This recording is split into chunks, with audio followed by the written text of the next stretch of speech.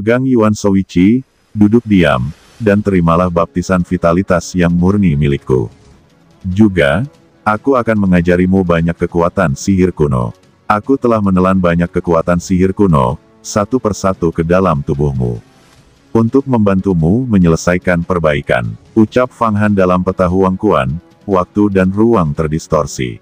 Penyihir Fang Xiaolin, Long Xuan, Jialan, dan yang lainnya sekarang berlatih dalam ruang dan waktu yang bengkok ini. Fang Han memasukkan sejumlah besar energi yang murni ke dalam tubuh mereka. Kekuatan orang-orang ini terus meningkat dan berkembang. Satu jam di luar, itu adalah satu tahun di peta mata air kuning, dan Fang Han juga menyimpan banyak vitalitas dari lima elemen di peta mata air kuning.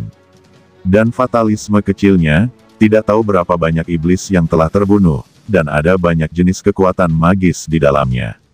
Sekarang dia dapat memulihkan kekuatan magis kapan saja dan menyusup ke orang-orang ini.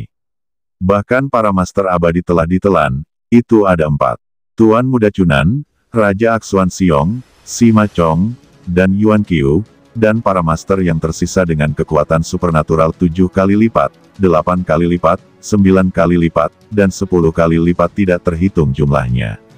Di antara rune fatalisme kecil, banyak kekuatan supernatural yang kuat sebanyak gerbang bulu. Jialan, sekarang aku akan mengajarkanmu sebuah kekuatan sihir kuno, telapak tangan dewa kuno. Long Xuan, aku akan mengajarkanmu sebuah kekuatan sihir, Taisang Hua Longgong. Baby Nebula, aku akan mengajarkanmu seni bintang besar yang lengkap. Black Yu King, aku akan mengajarkanmu sebuah jalur primordial iblis kuno. Fang Xiaolin, aku akan mengajarkanmu sebuah potongan terner darah besi. Ye Yu, Er, aku akan mengajarkan kalian masing-masing sebuah kekuatan sihir. Ini adalah kekuatan sihir penebusan dosa tingkat raksasa abadi. Setelah kalian mendapatkannya, kalian dapat mengerahkan kekuatan kalian tanpa berlatih, menggunakannya untuk mengalahkan para master inti emas. Itu tidak sulit. Ucap Fang Han karena telah menelan Tuan Muda Cunan, Kaisar Dewa Wu Sitian dan banyak kekuatan supranatural kuno, yang disimpan dalam fatalisme kecil, dan sekarang semua orang telah mendapat manfaat yang sama. Semua kekuatan gaib ini adalah penguasa tubuh abadi, yang dikultivasikan oleh Kaisar Dewa, dan setiap jenis kekuatan gaib memiliki kekuatan besar. Pada kenyataannya, bahkan jika penguasa inti emas dimasukkan secara paksa ke dalam tubuh, ia akan meledak dan mati. Namun, pada saat mereka dimasukkan ke dalam tubuh mereka, Fang Han mengeluarkan 16 benih dewa sejati dan mencampurnya ke dalam tubuh mereka. Benih dewa sejati ini adalah 16 raja dewa di bawah kaisar Dewa Wu Sitian. Mereka dibunuh oleh Fang Han dan disempurnakan menjadi buah kekuatan supernatural dan benih dewa sejati. Sekarang mereka langsung menembus ke dalam tubuh orang-orang ini, mengubah tubuh mereka sepenuhnya, membuat tubuh mereka menjadi tirani, mampu menahan kekuatan magis dan mana terkuat. Delapan Buddha, delapan Ki Naga Sejati. Pada saat yang sama, Fang Han membuka delapan aura naga sejati di delapan Buddha, dan menanamkannya ke dalam orang-orang ini. Pada saat yang sama, kelima jarinya menembakkan sinar darah, menjalankan teknik darah yang hebat, mengubah tubuh orang-orang ini. Teknik jiwa darah agung sangat luar biasa untuk kultivasi fisik.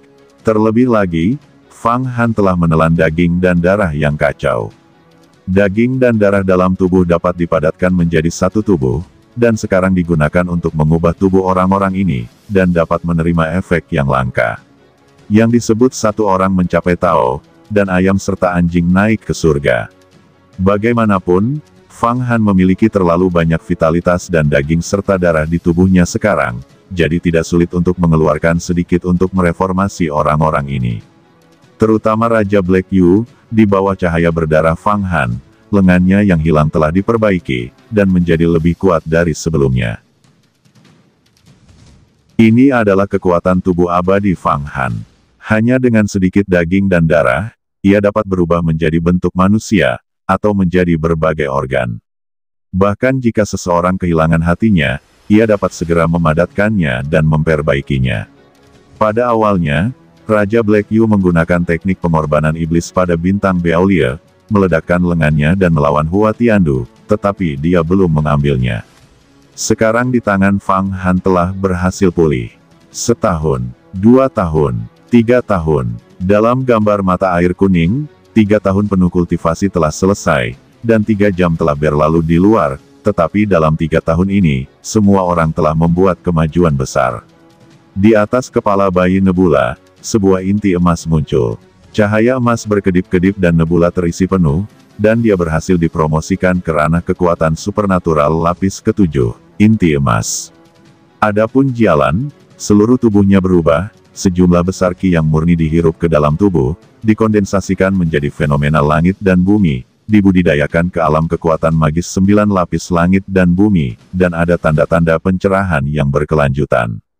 Baiklah, sangat bagus. Aku akan mengambil benih tubuh sejati protos dan menanamkannya ke dalam tubuhmu, lalu menggunakan teknik darah agung untuk mengubah tubuhmu, dan memberimu cukup kekuatan yang murni untuk berkultivasi. Aku tidak percaya, selama 60 tahun. Setelah itu, ke mana kemajuanmu akan pergi? Kata Fang Han telah menghabiskan seluruh hidupnya. Dia bahkan menggunakan teknik asal mula yang hebat untuk memperluas pengetahuan orang-orang ini. Delapan Buddha, 30 juta iblis surgawi, banyak raja iblis surgawi. Selamatkan dan doakan, tuangkan aspirasi ke dalam tubuh orang-orang ini. Untuk mengeruk meridian mereka, mengatur vitalitas. Bantu kultivasi mereka, kata Fang Han sekali lagi menerbangkan 30 juta iblis surgawi dan 10 ribu raja iblis surgawi, membentuk barisan besar satu demi satu, berdoa tanpa henti, dan berdoa tahun demi tahun, menghasilkan aspirasi yang kuat, mengelilingi tubuh bayi Nebula dan Long Xuan. Tubuh Long Xuan juga berubah. Setelah menyerap cukup banyak delapan kinaga sejati, ia mulai menunjukkan kengerian garis keturunan setengah manusia dan setengah naga. Tingkat kultivasinya hampir setahun untuk ditingkatkan, dan ia dengan cepat menjadi seorang yang terpelajar. Alam yin dan yang, kemudian disempurnakan menjadi formasi besar. Akhirnya berubah menjadi fulu, melangkah ke lapisan keenam kekuatan supernatural dan kembali ke satu keadaan. Fang Han, sayang sekali ada begitu banyak kekuatan keinginan. Jika kamu bisa mendapatkan teknik berkah agung dari Protos, kamu bisa memadatkan kekuatan keinginan menjadi kekuatan berkah, yang sangat berguna untuk meningkatkan alam manusia. Alasan mengapa Protos begitu kuat adalah karena ada banyak berkah dewa. Ucap Nagayan berputar di sekitar babu Buddha, sungguh disayangkan. Teknik berkah yang hebat. Fang Han mengerutkan kening. Ya, teknik berkah agung, berkah para dewa. Jika seorang biksu biasa menerima berkah para dewa, wilayah kekuasaannya juga akan meningkat pesat dan kebijaksanaannya akan meningkat pesat. Lupakan saja, aku juga akan berlatih di Huang Kuantu, untuk memahami teknik-teknik Buddhisme.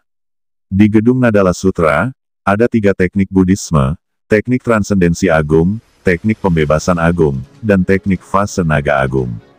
Manfaatkan kesempatan ini untuk berlatih. 60 tahun, lima hari di luar. Namun, itu akan menghabiskan 6 miliar pil yang murni, HAM, bahkan jika itu adalah Yuhua Tiangong, Feng Baiyu tidak tega membiarkan murid-muridnya berlatih seperti ini. Fang Han duduk bersila dan mulai berlatih dan memahami. Selama 60 tahun, jarang yang bisa memahami dan mempraktikkannya. Lagi pula, Dava Buddhisme pada dasarnya tidak memerlukan vitalitas eksternal, asalkan Anda memadatkan kebijaksanaan spiritual Anda sendiri. Dan energi yang murni sudah cukup.